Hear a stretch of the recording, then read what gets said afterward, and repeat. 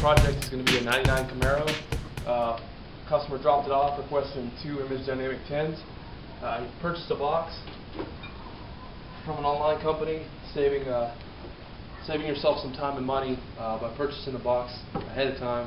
Uh, it doesn't have as much uh, money into the labor, so it's less labor intensive. Boxes can be had online pretty cheap and shipped pretty cheap. Uh, we got a box for two tens, uh, Image Dynamics. Uh, the Image Dynamics are a little bit larger. We're going to have to route these out a little bit. Um, but uh, for the 79 Camaro, it's uh, it's going to be a, a nice system. The uh, amplifier, the customer chose to set it right here.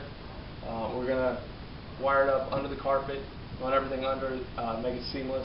The amp will sit right here, and we'll have the two Image Dynamics installed. I want to take a minute about uh, the products that we're going to use in this install.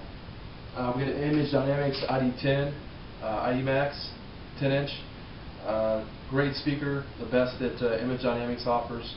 Um, in my opinion, probably one of the best speakers you can you can buy. Super small box, uh, 10 inch is personal preference, uh, and it's just a. Uh, we have two of power. those. and then we're going to install this Planet Audio. Um, mono block. Uh, the birth certificate that comes with this is rated at 2,000 watts continuous power uh, at 1 ohm. It's a heavy build amp. Uh, kind of goes off the old stuff, the old school uh, Planet Audio. One of the Planet Audio's better products. Um, if you're going to buy Planet Audio, use the Big Bang series. Solid amp, very heavy.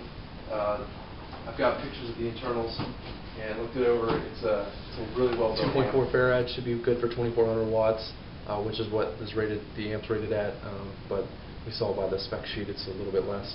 Uh, this should allow them a little bit better uh, performance with the, when the bass hits, it'll drop the capacitor to the voltage, it'll stop the voltage from dropping as much. Um, the better way to go if you're going to spend a little more money is to get a Stinger or a Kinetik battery. Um, they're like having a hundred, you know, hundred times, uh, hundred times one farad caps. The, they call them the cap killer. It's another good product, uh, but we're going to use this one for this particular. The holes already went ahead and routed some holes out uh, a little bit bigger. Uh, we had to route the holes out for the Image Dynamics uh, to allow them to fit, and I'm just going to finish this other one up.